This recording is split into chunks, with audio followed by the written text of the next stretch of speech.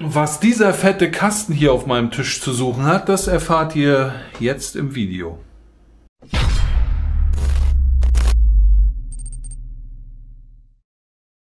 Hallo, seid gegrüßt, ich bin der Uwe und heute gibt's ein neues Video für das Gaming-Magazin Play Experience. Wer hätte das gedacht?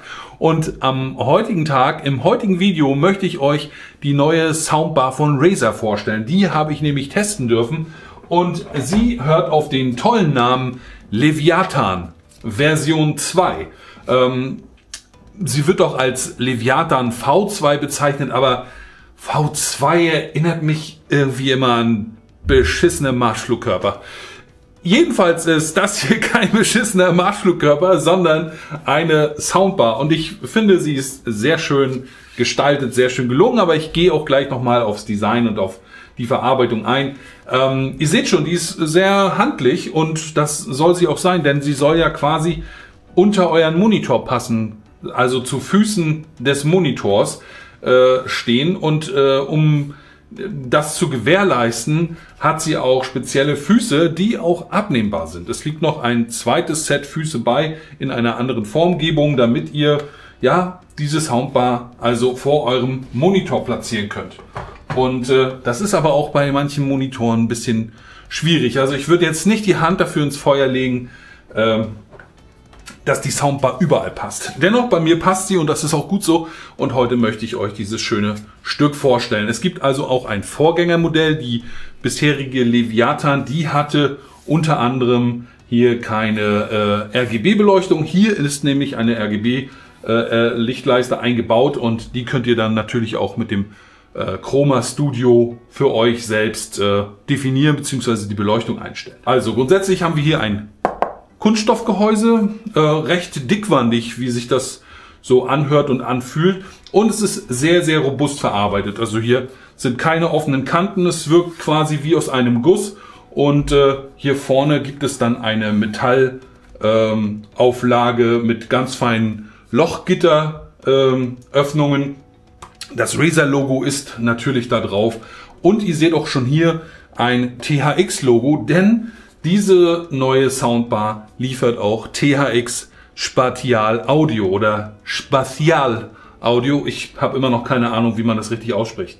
Ähm, außerdem habt ihr hier oben auf der ähm, äh, Deckplatte einige Tasten für die Bedienung. Einmal natürlich eine Taste, mit der ihr die Soundbar äh, aktivieren oder deaktivieren könnt. Ihr habt zwei Tasten für die Lautstärke-Einstellung und es gibt eine Umschalttaste, zu der ich euch gleich erkläre, was man damit umschaltet.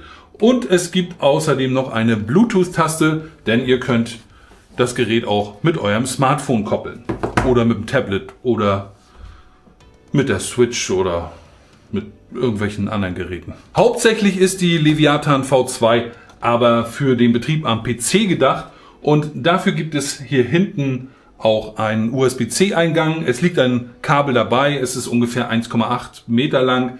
Ähm, ein USB-C auf USB-A-Kabel. Und dann habt ihr einen weiteren äh, Eingang hier. Das ist für die Stromversorgung mit dem externen Netzteil.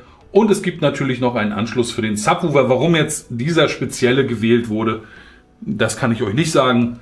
Ich finde ihn ein bisschen unpraktisch, weil ich weiß, dass solche Anschlüsse gerne mal kaputt gehen oder ausleiern. Ich habe so eine Anschlüsse schon lange nicht mehr gesehen. Hier hinten seht ihr übrigens auch schon ein weiteres Feature, denn diese Soundbar hat hier sogenannte passive Treiber. Das sind Gummimembrane, die hier weich gelagert sind und die sollen auch selbst aus dem Gerät so ein bisschen Bass rausgeben. Der kommt aber hauptsächlich aus dem schwarzen Kasten, den ihr am Anfang schon gesehen habt. Und das ist der hier.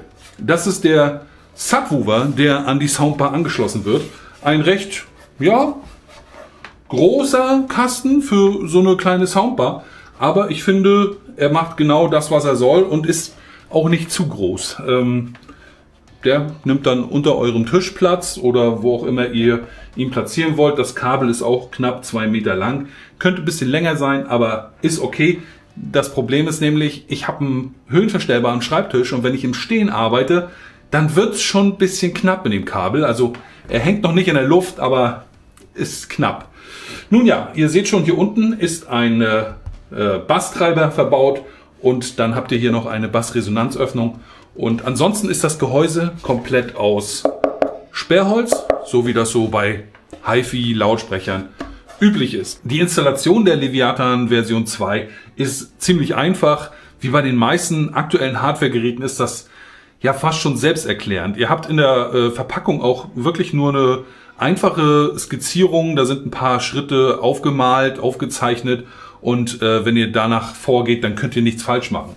Ja, also Stromzufuhr sicherstellen, äh, Verbindung mit dem PC herstellen, Subwoofer anschließen, positionieren und schon ganz losgehen, also Plug and Play quasi. Wenn ihr die Soundbar vollumfänglich nutzen wollt, müsst ihr natürlich die Razer Synapse Software installieren. Das geht auch recht schnell, aber mit der Software habt ihr halt Zugriff auf alle Funktionen der Soundbar. Unter anderem könnt ihr THX äh, aktivieren oder auch einfach nur Stereobetrieb auswählen. Ihr könnt festlegen, ähm, wie der THX-Sound äh, wirken soll, ob er eher breit gefächert oder ähm, mittig fokussiert äh, abspielen soll. Das macht natürlich Sinn, wenn ihr vorm PC alleine sitzt.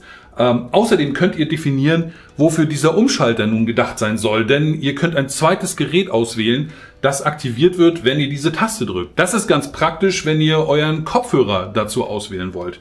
So könnt ihr zwischen Headset und Soundbar hin und her schalten. Mit der Soundbar hört ihr vielleicht gerade Musik oder ihr spielt ein Story Game und wenn ihr dann doch mit Freunden zusammen ein bisschen Multiplayer spielen wollt, dann ist es sicherlich viel sinnvoller, das über ein Headset zu tun, mit dem ihr dann auch kommunizieren könnt. Denn hier ist kein Mikrofon verbaut. Äh, zusätzlich gibt es natürlich auch noch die Bluetooth-Taste und ihr könnt euer Smartphone oder euer Tablet damit verbinden. Das geht über eine ganz normale Bluetooth-Verbindung. Ihr könnt aber auch am Smartphone die Razer Audio App benutzen, um zum Beispiel den Klang zu verstellen. Oder ihr könnt auch die Chroma-App benutzen am Smartphone, um die Beleuchtung einzustellen. Das geht natürlich auch mit der Synapse-Software am PC. Unter anderem habt ihr auch einen Zugriff auf einen 10-Band-Equalizer äh, mit vordefinierten Presets. Ihr könnt aber auch selber ein Preset festlegen. Ich finde, dass der Sound wirklich so gut ist, dass ich gar nichts verstellen musste. Ich habe es ausprobiert, aber naja, zum Sound komme ich gleich noch. Grundsätzlich habt ihr also alle wichtigen Einstellungen in der Synapse Software parat und mehr braucht es eigentlich auch nicht. Ne? Im Chroma Studio regelt ihr eure Beleuchtung und könnt das entweder an euer Razer Setup anpassen oder an euer grundsätzliches Beleuchtungskonzept anpassen. Das ist äh, wirklich umfangreich und äh, gut nutzbar. Ähm, es ist nett, dass sie eine Beleuchtung hat. Für mich war das jetzt nicht relevant, aber das ist eben ein Feature, was diese Soundbar von ihrem Vorgänger unterscheidet. Zum Sound der Leviathan V2 möchte ich natürlich auch was sagen. Äh, erstmal was Technisches. Ihr habt hier vorne zwei ovale Full-Range-Lautsprecher verbaut, die auch im Bassbereich arbeiten. Ähm, außerdem gibt es zwei Hochton-Tweeter, die sehr präzise Hochtöne liefern. Und ihr habt, wie gesagt, hier hinten auf der Rückseite noch diese passiven Treiber. Ähm, der Subwoofer regelt dann natürlich den Bassbereich und äh, grundsätzlich deckt diese Soundbar wirklich ein sehr schönes Soundspektrum ab. Äh, leider konnte ich auf der Razer-Seite nicht wirklich viele Informationen zu der Leistung des Verstärkers finden oder was für eine Verstärkereinheit hier verbaut ist. Das konnte ich leider nicht rausfinden. Aber es ist für mich persönlich als Konsument auch gar nicht so wichtig. Für mich ist das wichtig, was quasi am Ende dabei rauskommt und das ist wirklich eine Menge. Ähm, wenn wir das Gerät anschließen, und das geht ja, wie gesagt, schon recht schnell, dann ballert's. Jetzt mal ein bisschen Mucke hier. Halbe Lautstärke, ich mal auf. Unsere Beats haben Bass, unsere Beats haben besser.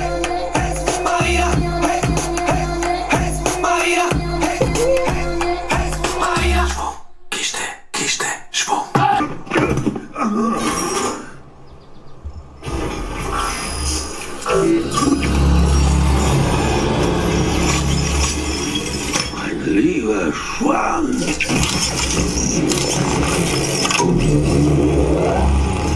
Kacke.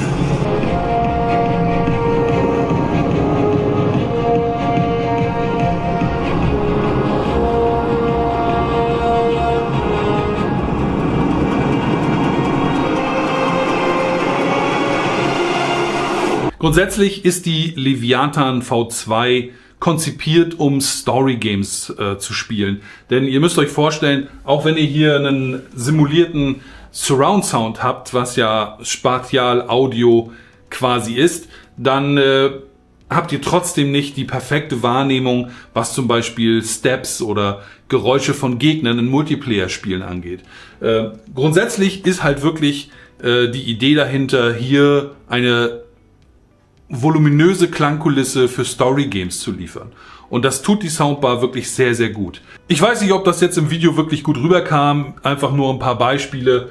Ähm, ich weiß nicht, äh, wie die das machen, aber was aus diesem kleinen Teil rauskommt, ist halt wirklich brachial und äh, muss sich meiner Meinung nach auch nicht hinter irgendwelchen Konkurrenzprodukten verstecken. Zumal es auch nicht so viel Konkurrenz gibt in puncto Game Audio Soundbar. Äh, es gibt natürlich viele Lautsprecherlösungen, aber äh, so eine Soundbar finde ich ist eigentlich ein perfektes Gerät, um es hier unter dem Monitor zu platzieren. Da ist halt meistens immer Platz und äh, naja, ich sag mal, wenn man mal schnell ein Video gucken will oder auch jemandem was vorführen will, äh, ist es auch immer ganz praktisch, wenn du einen Lautsprecher hast.